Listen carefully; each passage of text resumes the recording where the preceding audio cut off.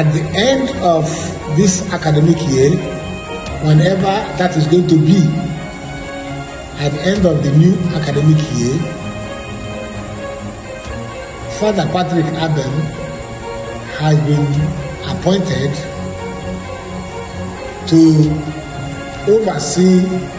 the welfare of this seminary beginning from the next academic year.